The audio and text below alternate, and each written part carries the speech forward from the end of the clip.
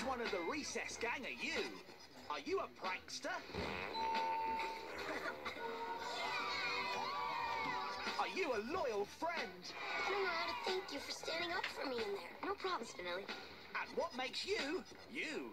This hat is me. It's who I am. Nobody wears this hat but me. If this sounds like you, you're TJ. But you could be like any of the gang from Recess. Saturdays on Diggin' It.